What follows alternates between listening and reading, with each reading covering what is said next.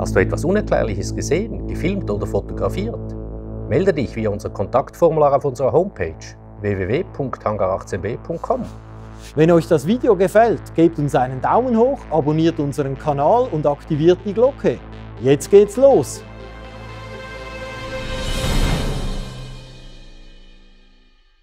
Hallo da draußen, heute wieder aus dem Hangar mit einem interessanten Gast im Studio, Martin. Hallo Martin. Hallo zusammen. Hi Martin. Hallo Martin. Martin hat äh, etwas sehr Spezielles erlebt, eine kleine Gestalt mitten in einem überbauten Gebiet. Ähm, Martin, wann war das? Äh, was hast du gesehen? Erzähl doch mal. Also das war folgendermaßen. Ähm, das war also am 16., 17. Februar, wisst ihr das noch genau? Ich glaube, es war ja. Donnerstag, der 16. Dezember, äh, Entschuldigung, 16. Februar. Mhm. Ich weiß noch die Zeit, es war um 10 vor 5. Mhm. Weil der Grund ist, ich, also ich, ich arbeite so als, ähm, ich, ich habe eine Praxis auf, ähm, auf traditionelle chinesische Medizin, das mache ich Akupunktur und, und, und chinesische Heilkräuter und so. Und ich hatte um, ähm, um 4 Uhr hatte ich einen jungen Patienten und ich brauchte etwa drei, vier Stunden mit dem zu arbeiten. Und nachher hatte ich noch eine Viertelstunde Pause. Und dann bin ich in die Küche gegangen. Das ist jetzt, wo ich auch hier bin. Ähm, und habe mich ans Fenster gestellt und ja, ich, ich muss ehrlich sagen, ja, ich, ich rauche ab und zu mal Zigarette, ich rauche nicht viel, aber zwischendurch rauche ich doch eine.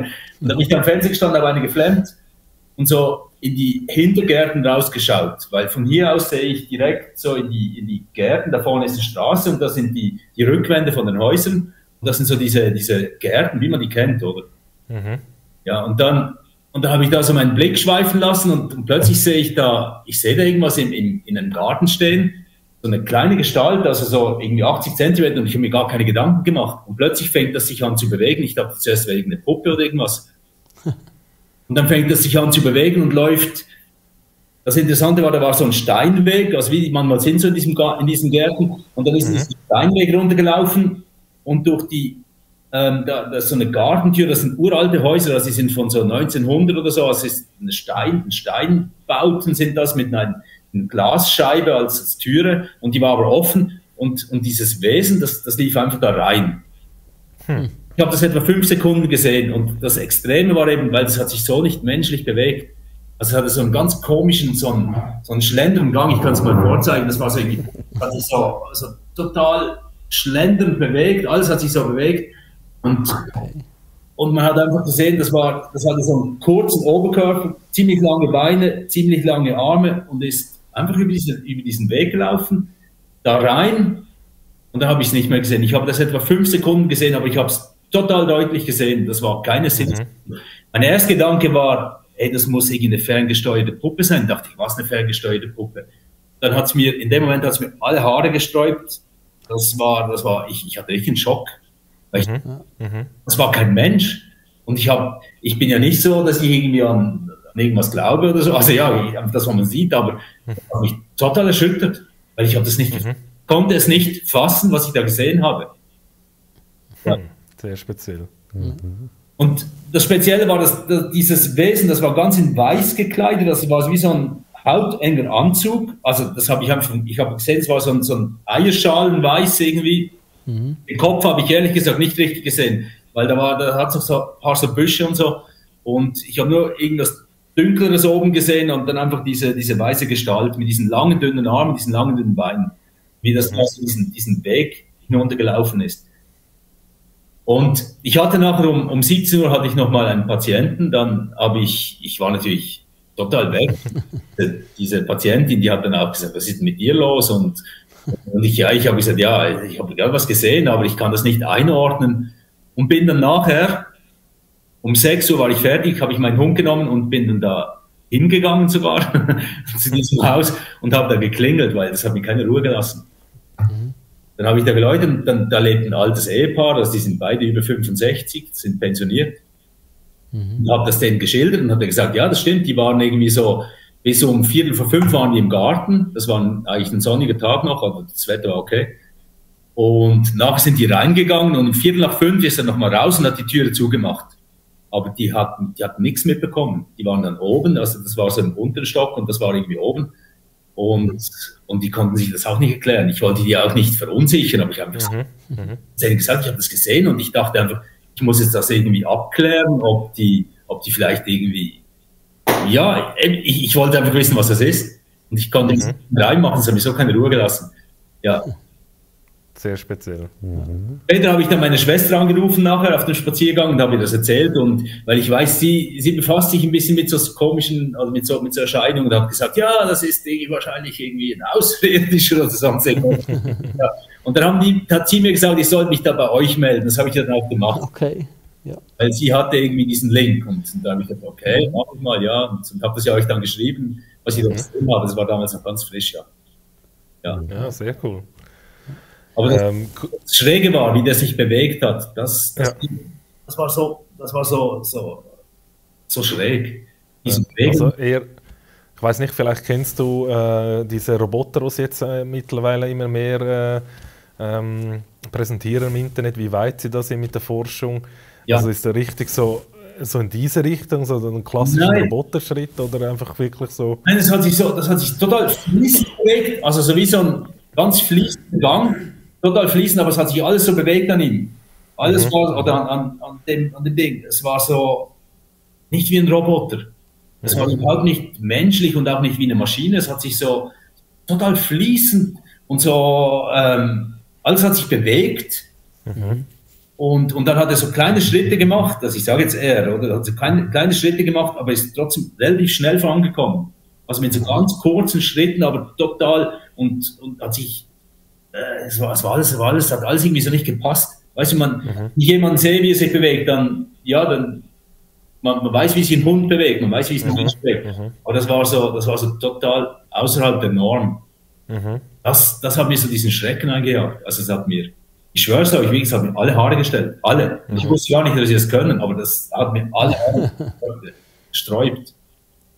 Krass. Wenn, äh, wenn du sagst, dieses Objekt oder dieses Wesen, ähm, war das wie ein Mensch sichtbar oder vielleicht eher wie ein Geist, wie man sich einen Geist vorstellt? Also dass das Nein, eher dann verschwommen war? Oder?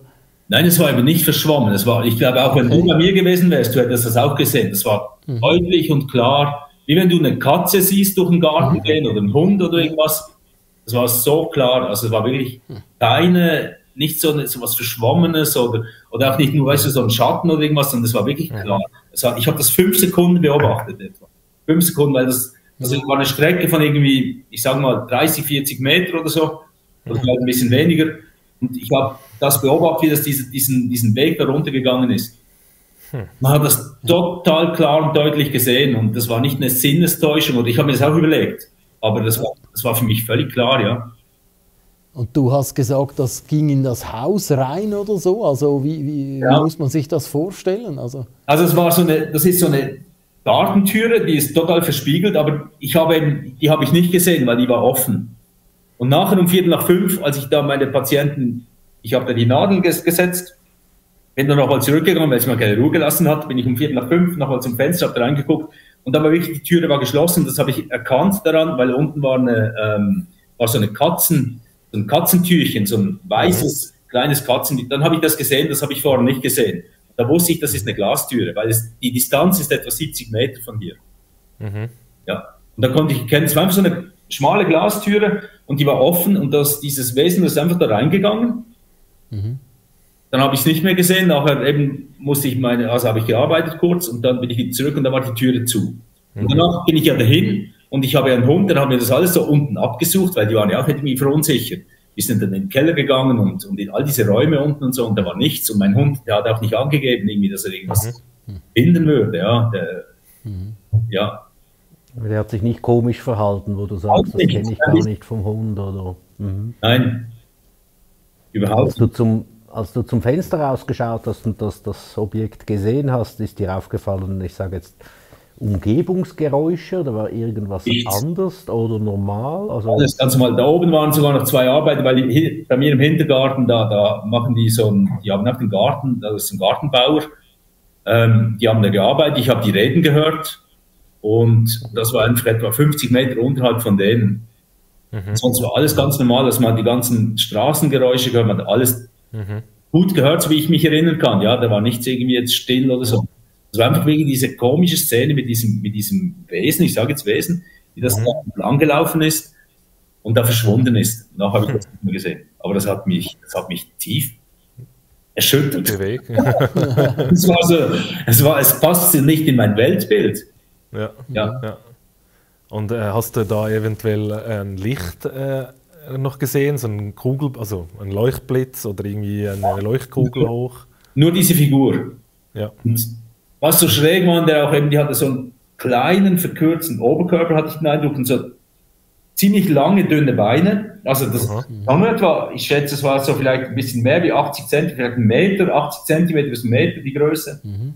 Ähm, ganz dünne Arme. Und eben den Kopf habe ich nicht so, da habe ich so ein bisschen ja. dunkel gesehen, weil das Kleid oder was es anhatte, war weiß. Ja. Mhm. Ja, das war das, was ich gesehen habe. Das merkt man. Krass, ja. Es war kein Licht, es war kein Leuchten, es war gar nichts, kein Geräusch, gar nichts. Es war wirklich nur dieses, dieses Wesen, ja. Also ich frage dich jetzt einfach mal so knallhart durch die Blume, sieht das eher so aus wie der Kollege hier hinter mir? ich weiß nicht, ob du das gut siehst. ah, warte mal, muss ich gucken da. ähm, natürlich, eben, ja, von den Schultern her schon, natürlich, den Kopf habe ich eben schlecht gesehen. Ja, gell? klar. Also Schultern, es war genauso schmal, ja, es war etwa so von der von der Breite her, so in der, in der Größe, ja, auch von der Höhe etwas stimmt das schon, aber den Kopf okay. habe ich nicht gesehen. Ja, ich habe einfach gesehen, dass mhm. es ziemlich schmal war. Also, mhm. weißt du, was, was man keine Angst machen, man, man würde sagen, hey, dem gebe ich einen Tritt und dann fliegt das weg, aber mhm. Mhm. war nicht beängstigend jetzt, aber es war einfach beängstigend, ja. weil es sich so unnatürlich bewegt hat. Ja. Es hat sich ja. so schräg bewegt. Diese, dieser schlendernde Gang, der war so ganz, ja, ich kann es gar nicht so richtig nachmachen. Ja. Aber so die Schultern waren etwa so, ja, vielleicht, eben den Kopf habe ich nicht richtig gesehen, aber der war so mhm. dunkel. Also der Kopf war dunkler wie der Rest. Das war jetzt okay. nicht weiß in weiß. So. Ja. Ja. Unten war noch was dunkler, das habe ich schon gesehen. Mhm. Dann unten war einfach der, der Körper war weiß. Ja. ja. ja sehr speziell. Ja. Das ja. ist wirklich, wirklich spannend und äh, auch gut, dass du zu den Nachbarn rüber bist.